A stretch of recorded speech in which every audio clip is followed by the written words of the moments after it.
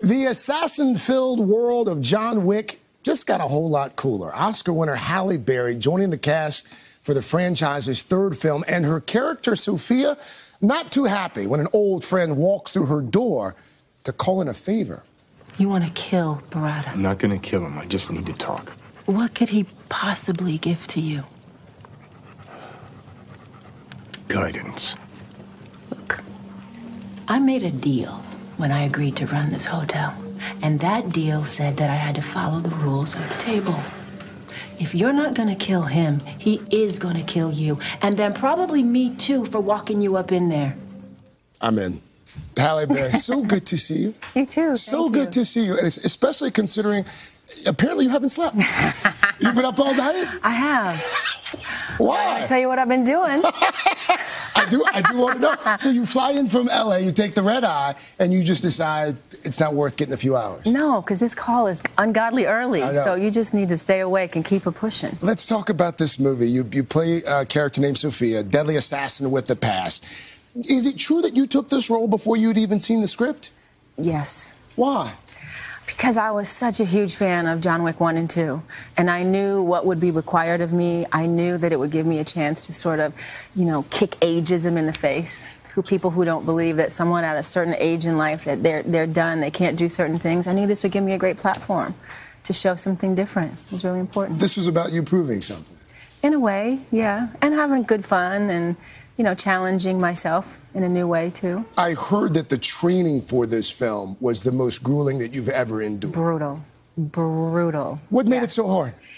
You know, it, my body had to do things that I'd never done before. I learned th- three different kinds of martial arts. It was nonstop, six months, eight hours a day, fight training, firearm training, dog training. It was just a full on six month, all immersive experience. Someone said that you, you actually got hurt during the during the filming as well.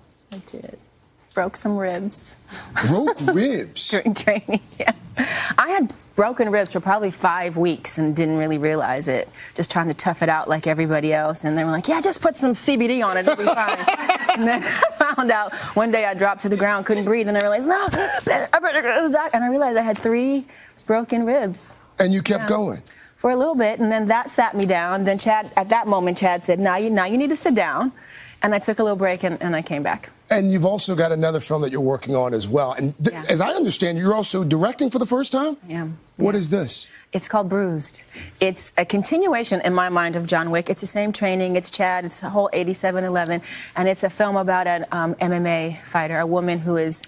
Um, it's a love story between a mother and a son, and a woman who's fighting for a last chance, not another chance, but Yeah. a last chance. A directorial debut. Is that where uh, the career's headed now? I don't know. We'll Yeah. see how that goes. If I love it, yes. If I hate it, not so much. Oh. While I have you here, I'm going to put you on the spot. Perhaps you've heard Daniel Craig is uh, is taping his, his last Bond. Hmm. There's been some talk as to who should who should take the mantle from from here. Who do you say? Who would Halle Berry love A woman. No, just kidding. Queen Latifah. Um, who should take it?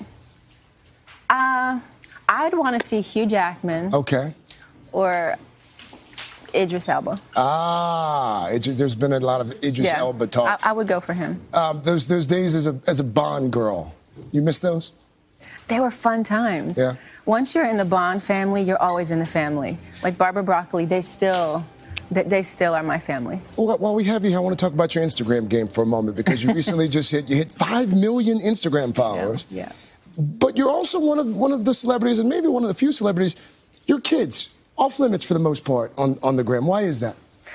I just, you know, I fought really hard to protect their privacy, you know, and I just want them to have their life and have it be theirs and not, and also it's a safety issue. I just don't want to plaster them all over the internet. That just doesn't feel right for me, you know, and they're going to do that soon enough. That, that's going to be their life when they grow up and, and, and they will choose when that starts. Halle Berry, so enjoyed this. Thank you for staying up you. all night. Thank you. Thank you. Thank you. Thank you. Thank you. John Wick, by the way, Chapter Three hits theaters next Friday, May 17th.